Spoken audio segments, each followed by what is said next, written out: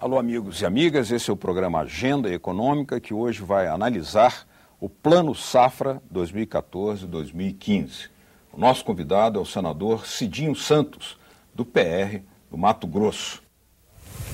Para o Plano Agrícola e Pecuário 2014-2015, o governo federal liberou 156 bilhões de reais Serão 112 bilhões para financiamentos de custeio e 44 bilhões para programas de investimentos, um aumento de 14,7% em relação ao ano passado.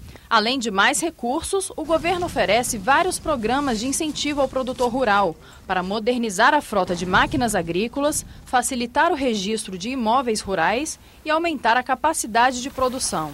Segundo o governo, 85% do crédito no Plano Safra terão juros controlados, ou seja, abaixo das taxas de mercado. O setor calcula que com esses investimentos a produção brasileira de grãos deve atingir a marca histórica de 200 milhões de toneladas. Para nos falar sobre isso, nós temos aqui o senador Cidinho Santos, quem agradeço muito a presença aqui conosco. Eu que agradeço a oportunidade de estar mais uma vez aqui falando aos telespectadores da TV Senado de todo o Brasil.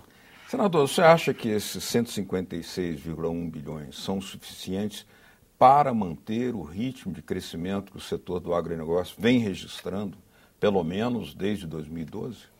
Acredito ser suficiente, e, além de ser suficiente, a própria presidente, na solenidade de lançamento do Plano Safra, é, na última segunda-feira, ela deixou bem claro que se faltar recursos, o governo vai colocar mais recursos. Então, se, se, se 156 bilhões não forem suficientes, é o governo federal, juntamente com o Ministério da Fazenda, tem a disponibilidade de injetar mais recursos. Isso vai fazer com que os nossos produtores rurais de todo o Brasil se mobilizem para, como você disse, temos aí em 2015 uma safra recorde, ultrapassando 200 milhões de toneladas de grãos. Isso para uhum. nós será um recorde histórico e aí pela primeira vez passando é os Estados Unidos, né, que é o nosso sonho, principalmente na questão da soja. Uhum. O senhor lembrava aqui que em 2002, conforme mencionado também, o, os recursos destinados ao Plano Safra atingiam a marca de 15 bilhões. Como é que o senhor analisa esse crescimento nesse período, considerado, inclusive, que politicamente o, o PT não seria mais sensível às demandas do agronegócio? É, exatamente. Nas, ele... é, nas, eleições de 2002, o setor do agronegócio tinha muito medo da eleição na época do presidente Lula, em função dessa ligação do PT com o MST, né, que é, é histórico. Né? E na época eu me lembro muito bem que o senador Blairo Maggi, na época governador, foi um dos únicos, de repente, pessoas do setor do agronegócio que veio no segundo turno apoiar o, a eleição do presidente Lula. Né? Uhum. Então aquilo no próprio estado do Mato Grosso causou muito espanto né, da decisão é, do Blairo Maggi, na época governador, em apoiar a eleição do presidente Lula. E eu, numa conversa com ele, também quis entender, né, porque até então eh, eu não era eleitor do Lula e nem do PT, e ele me explicou o seguinte, falou, se todo mundo for para o lado de lá, quem é que vai conversar do lado de cá? Então alguém tem que estar tá aqui conversando para fazer esse contraponto. Uhum. E aí, após a eleição do presidente Lula, ele esteve no Mato Grosso, numa das propriedades do então governador Blairo, e de lá para cá o setor do agronegócio só tem a agradecer porque o governo do presidente Lula, depois da presidente Dilma, entendeu é, a grandiosidade do agronegócio brasileiro e colocou os recursos necessários. Naquele momento, em 2002, o setor passava por uma crise histórica o dólar controlado, uhum. é, os recursos para o crédito rural na, insuficiente para atender a demanda, como nós colocamos, é 15 bilhões de reais, depois de 11 anos, esse valor 10 vezes mais, 156 uhum. bilhões agora. Então, tudo isso fez com que o agronegócio crescesse no Brasil em função é, muito da pujança do setor, da valentia dos agricultores, mas de nada adiantaria essa disposição, essa coragem dos agricultores se o governo também não tivesse feito a sua parte ao longo desses anos, a partir de 2003. Agora, a, o governo tem encontrado uma certa dificuldade na administração das taxas de juros. A presidenta Dilma reduziu as taxas no primeiro momento, depois teve que elevá-las novamente. Mas ontem, ao anunciar, ou seja, no dia do anúncio, ela é, frisou que 85% do crédito destinado ao setor do agronegócio, tá, Plano Safra, estariam subsidiados. Como é que o senhor avaliou essa, essa posição da presidenta? É, se você fizer uma comparação dos recursos da safra de 2013 para 2014, nós temos uma Selic na faixa de 7,5%. Uhum. Né? Agora nós temos uma Selic na faixa de 11%. Então o juro que o, para o custeio do produtor subiu 1%. Então, quer dizer, ele ainda está muito abaixo daquilo que seria, se fosse acompanhar o mercado para a inflação, aí esse ano também previsto nessa casa de 6%. Quer dizer, então, o que a presidente falou é a realidade. É, uhum. O governo tem subsidiado é, o setor do, da agricultura brasileira, do agronegócio, não só no custeio é, da, da, safra, dos investimentos no, do plantio, mas também na aquisição de máquinas, equipamentos. Nós tivemos aí o juro é, voltando o Moder Frota, né, que é um programa interessantíssimo não só para o, os agricultores, para os caminhoneiros, mas também para a indústria, a indústria brasileira, porque vai poder voltar a fabricar esses equipamentos, colhedeiras, caminhões, a juros de 4,5%. Uhum. Então, quer dizer, fica abaixo da inflação. Então, eu acredito que o governo, apesar desse ajuste um pouco para cima do juro em função do aumento da taxa Selic, mas ele foi é, muito menor do que se seria se tivesse acompanhado o aumento da taxa do último ano. E esses juros, até pouco tempo atrás, era na faixa de 14% ao ano. Uhum. Né? Então, ainda nós estamos numa situação bastante favorável. Né? Uhum. Agora, a presidenta também chegou a frisar, e o ministro depois explicou isso, que são 156,1 bilhões, mas se gastarem todo, todos os recursos, né, na totalidade, haverá a possibilidade de um aditivo, de um acréscimo como é que o senhor vê essa possibilidade? Acho que vai, vai gastar tudo isso? Vai ser necessário um, um incremento aí?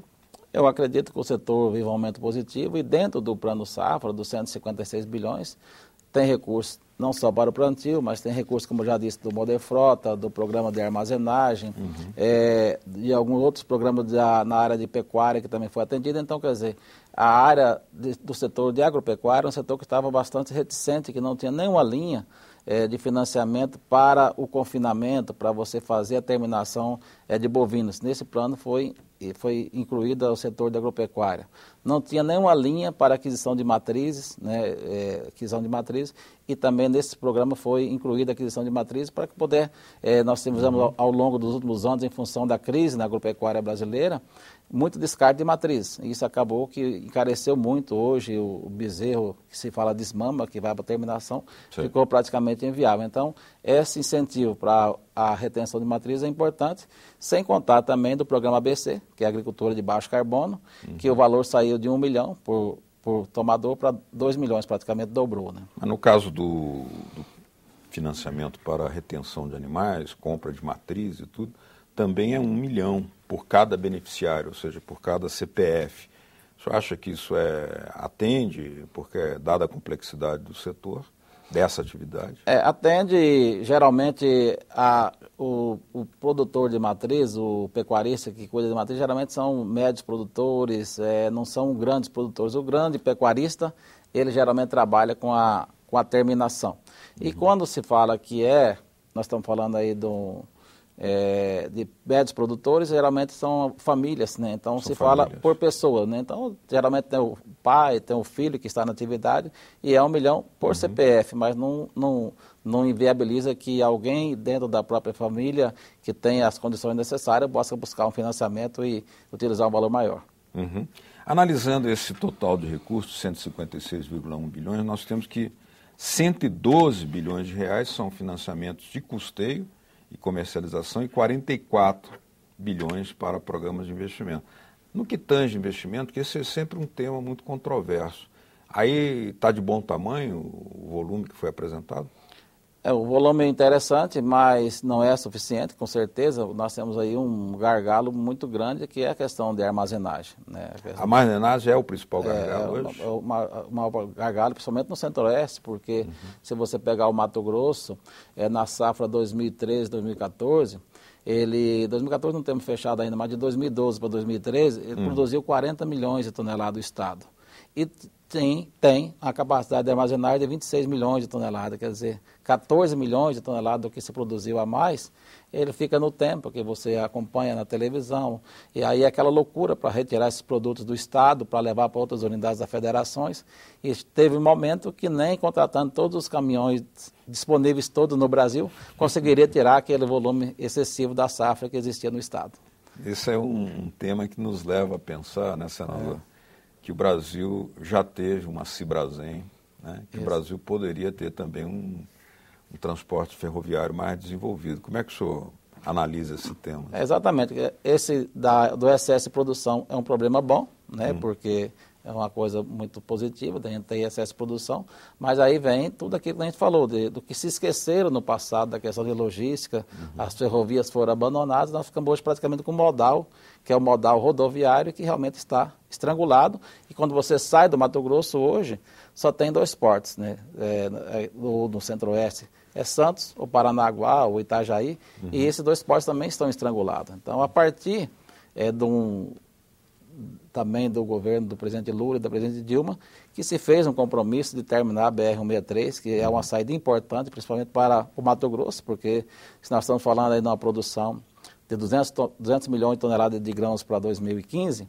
disso 45 milhões vai ser produzido no estado do Mato Grosso. Então, praticamente é 30% da, quase da produção nacional. Né? Certo. Então, esse modal saindo pela BR-163, a expectativa é que falta 200 e poucos quilômetros para concluir, que em 2015 boa parte dessa produção já se saia pelo porto de Miritituba, no uhum. Pará. Então isso, aquilo que eu, você citou e que eu disse antes, esqueceram da questão da logística ao longo dos últimos anos, e essa 163 era, era e é um, um, um canal de escoamento importante para essa produção, mas fora isso tem a questão das ferrovias, que no Mato Grosso até o momento, o, moda, o, modelo instalado, que foi instalado no Brasil até então, não é um modelo interessante uhum. para o setor, porque não traz a competitividade. Uhum. Um exemplo, numa rodovia, você transita com o caminhão em cima, e se ela é, você, é, como é que o governo fala aí, que não é pedagiada, né? Uhum. Você paga o pedágio e anda em uhum. cima da rodovia, e, uhum. e quem, a empresa que tem a concessão faz a manutenção da rodovia. Na ferrovia, até então, as concessões que fizeram, no Mato Grosso nós temos a LL, que ia até Altaraguaia, depois chegou a Itiquira e agora já está operando um terminal de, de Rondonópolis. Certo. A LL, ela tem a concessão dos trilhos e tem a concessão dos vagões. Uhum. Então, o que, é que ela faz? Ela, o, o, quem vai transportar o grão na, sobre a ferrovia LL, ela coloca um desconto numa taxa, digamos, 10% em relação ao preço do caminhão e é isso, você transporta naquela ferrovia ou não transporta. Uhum. Entendeu? É. Você praticamente é um monopólio. Uhum. No novo modelo que o governo tem colocado, que agora nós estamos com a FICO, que é que vai de Uruaçu, Goiás, passando pelo Araguaia até Lucas do Rio Verde, e tem um outro uhum. pessoal no Mato Grosso, empreendedores trabalhando a ferrovia de Sinop até, até Meritituba, e depois do Araguaia passando por, por Tocantins num modelo diferente, que a, a empresa brasileira de planejamento e logística, a EPL, uhum. está fazendo, em que as empresas constroem os trilhos, devolvem esse trilho para a Valec, uhum. o governo vai, a Valec vai remunerar esse investimento, uhum. e grupos de produtores rurais, de cooperativas vão colocar seus vagões para andar em cima uhum. dessa ferrovia e pagar para usar a ferrovia. Então isso vai fazer com que o, o custo é, de transporte, de escoamento da produção, vai cair muito mais do que hoje o custo rodoviário, que praticamente uhum. fica inviável. Muito bem. Nós estamos aqui conversando com o senador Seguinho Santos, ele é do PR do Mato Grosso, e o nosso tema hoje é o Plano Safra 2014-2015. Vamos fazer uma pequena pausa aqui, voltamos já já no programa Agenda Econômica. Continue com a gente.